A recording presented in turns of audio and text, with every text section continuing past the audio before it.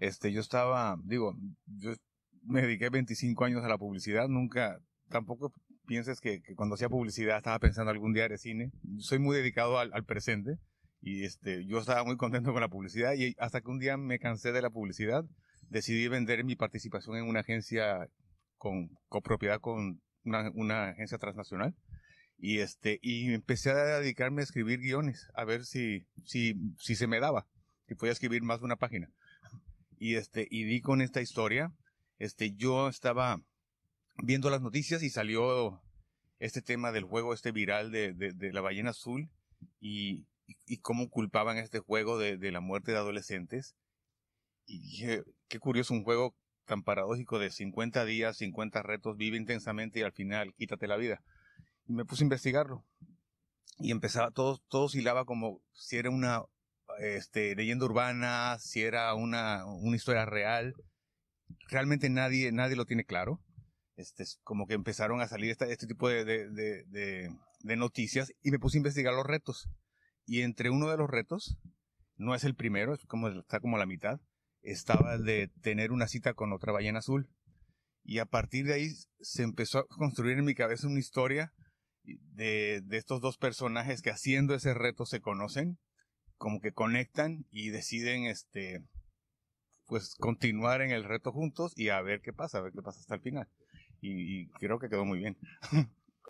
Mira, yo venía de, en publicidad, filmas mucho, no eres, no eres director de tus cosas, eres como un guionista que tienes poder de decisión dentro de un set, pero tú estás hablando con el director, tú no, tú no mueves el set, tú no, tú no hablas con los actores, tú le pides al director, y por aquí o por acá no me gusta esto porque estás cuidando tu idea. Entonces eso sí lo aprendes a hacer muy bien, aprendes a cuidar lo que pensaste. Y, este, y esto te ayuda muchísimo cuando filmé esto. Por ese entrenamiento yo creo yo, el rodaje fue muy fluido. De hecho, mi fotógrafo que tiene bastante experiencia me decía que es de las filmaciones más fluidas que ha sentido en la vida para alguien que había, nunca había hecho una película. Pues yo creo de vivir tanto viendo y viendo y viendo y viendo y viendo y una cosa que, que, que, apreciaban era exactamente la claridad. Dice, tú tenías clarísimo lo que querías hacer, no, no, te ponías a rascarte la cabeza, a pensar qué voy a hacer, no, pero eso es un entrenamiento de que a eso me dedicaba yo, eso sí lo hacía ya, ¿no? Y este, y la experiencia fue increíble, a mí me encantó, desde el momento en que la primera toma es la que más miedo te da, y aparte que el primer día de rodaje me tocó un aguacero tremendo, y entonces yo dije, yo estaba en el carro, y empieza a llover, pero no me he bajado todavía, y dije, ah, así va a ser, ¿no? Y este, bueno, ya bajó la lluvia, me bajo, bueno, pues a quemar el carro ese, porque empezamos con incendio de un coche. Y este, y a partir de la primera toma todo fluyó. Yo estaba muy contento, la verdad, y me sentía como, como muy cómodo, como, como que sí sabía lo que estaba haciendo. Tuve muchos ensayos con los actores para este, para ir muy preparado, porque siendo una película independiente, pues no puedes estar tampoco, cada día es muy caro entonces no estás para improvisar. Entonces íbamos muy, muy, muy preparados, éramos expertos los actores y yo de los personajes, entonces realmente fue un rodaje muy, muy, muy fluido. No, súper bien. Cuando llegó la invitación de, de, Jonah, yo, yo no lo voy a creer. Aparte de este, una carta increíble que nos mandó, no, no, no, eh, describiendo la película, yo estaba muy, muy, me sentía como muy honrado. y además, este, a mí, la ciudad, esta ciudad me encanta, esta es la tercera vez que vengo. Nunca me imaginé que iba a estar en un festival de cine pero de yo estuve aquí en el 95 de luna de miel y me acuerdo que vine aquí, estuve en Roma, estuve en Florencia, estuve en París y en Madrid. Me preguntan cuál es la ciudad que más te gustó. La ciudad que más me gustó fue Venecia, porque me impactó muchísimo estar, digo, todo el mundo sabe cómo es Venecia, pero estar ahí me, me encantó. Y entonces me gustó mucho que la primera, ahora sí que esta primera ronda de una nueva carrera, pues empiece aquí en una puerta tan grande, ¿no? Y la verdad estoy, yo estoy muy honrado, muy, muy, muy orgulloso de lo que hicimos, de todo el trabajo que le metimos. La verdad sí estoy muy contento. Yo creo que conecta. Yo creo que es la sensación que tengo yo. Que es una película... Yo no creo que a todo el mundo le guste todo, ni todo el mundo le disguste todo, pero, pero sí te puedo decir que es una película que la gente siente cosas. Y, y, eso me, me, gusta. A mí me gusta el cine que te hace sentir algo. Y, y, creo que con la película sí lo logramos. Yo espero que, que sea todo positivo, que la gente entienda lo que estoy diciendo y que reflexionemos sobre el tema. Yo cuando vi la noticia esta de la ballena azul, cuando, cuando veía esos, esos encabezados de juego suicida que está matando chicos, ¿no? Y decía, no, es posible que, un juego mate chicos. Bueno, no, no, eso, no pasa. ¿sí? A, mí, a mí alguien me llega ahorita un mensaje que dice, oye, te invito al juego de la ballena azul y al final te matas y, le, y le, pongo delete. Ya está, porque no tengo rollo. O sea, si eso, la decisión de, de, de acabar con tu vida precede al juego, si es que el juego es real. Entonces, como que dije, qué conveniente tener este tipo de salidas tan fáciles. Ah, claro, con razón se están suicidando los chicos. Hay un juego, ¿no? Hay un juego que te lo pide. Y digo, no, no, hay cosas que está, hay que cuidar mucho antes, ¿eh? En la casa, con quién están nuestros chicos.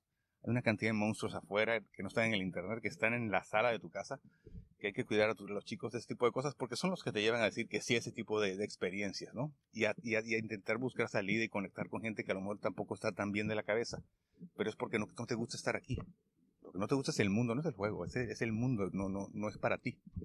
Yo quisiera que, por un lado, me, me gustaría que, que, los adultos, y me incluyo, cuidáramos más a la, a la, juventud, sobre todo ahorita que está tan expuesta con este tema de los, del social media porque creo que tiene muchas cosas muy positivas de, las redes sociales. El tema de este rollo de compartir, ah, eso me gusta, se me hace muy positivo. Pero, pero no todo el mundo está bien, ¿sí? Y entonces de repente, no sé, siento que, que la tristeza es, un, es algo, tiene un poder muy, muy, muy, muy avasallador. Sobre todo si eres muy joven, que todo lo sientes con mucha intensidad si eres una persona melancólica y te conectas con otra persona que está igual de triste, es muy difícil que salgas de eso y estás, y uno siempre conecta con la gente que es afín. Entonces, si tienes broncas, vas a empezar a conectar con gente que va a tener broncas, no vas a salir de ellas y te va, eso te puede llevar a lugares muy oscuros. Entonces, creo que la gente o los adultos deberíamos estar más vigilantes de nuestros hijos, de su estado de ánimo, si los ves triste, por qué está triste, ahondar un poco más las, las escuelas no solamente dedicarse que sea darles a un antidoping cada mes y, y los psicólogos con unos test rarísimos que, no llevan a nada, ¿no? Básicamente es eso. Quisiera que la gente estuviera más vigilante de los jóvenes y que entendieran que no, no, no son los videojuegos, no son las ballenas, no, no es nada de eso. Es, es la vida. La vida es muy complicada, es muy difícil para ellos también. Sí, ya, ya, ya estoy, este, el guion ya lo tengo, pero estamos ahorita en el tema de, armar toda una presentación para ver si conseguimos recursos y todo esto. Yo espero que también esto nos ayude como, como un buen punto, por lo menos para que te abra puertas, que si quieres un actor X, pues que te diga, ah, sí, claro, eres el que estuviste en Venecia, ¿no? Entonces eh, espero que eso ayude en el currículum, ¿no? Pero sí, ya tenemos un proyecto nuevo, igual con Catatonia, y este, y ojalá pueda yo filmar a finales del año que entra o el otro. Eso es otra cosa completamente diferente. La verdad es que me dio mucho gusto. Mira, voy a hacer un poco. No sé si me dio gusto porque justamente yo acabo de hacer mi película y me invitaron, pero, pero me, me, gusta que, tengo entendido que es el festival más antiguo de cine del mundo. Me, me gustó que fuera el primero que, que, este, que echara a andar este experimento de volver a, de, regresar a, juntarnos todos. Y me gustó mucho no sé, me siento que estoy como en un momento como histórico de los festivales del cine, del reinicio del cine y aparte yo voy a iniciar un rollo, o como que coinciden muchas cosas que, que me emocionan mucho. Entonces la verdad sí estoy muy contento de que nos hayan invitado y que se, y, que se hayan atrevido a hacerlo, yo muy dispuesto, yo aquí estoy. Con todas mis pruebas COVID me he hecho como mil, si ya tengo la nariz destruida, pero este, estoy, estoy muy contento, la verdad. Yo ya me siento bien servido por estar aquí, porque si alguien te dice, oye, no ganaste en Venecia, le digo, bueno, que fui a perder a Venecia. No todo el mundo llegó aquí a perder. somos muy poquitos también los que vinimos a perder a Venecia, ¿no? Entonces, uno va a ganar, pero habemos como seis nada más que vamos a perder, que no somos, no somos tantos, ¿no? Entonces, la verdad sí me siento en un lugar privilegiado si pierdo en Venecia también.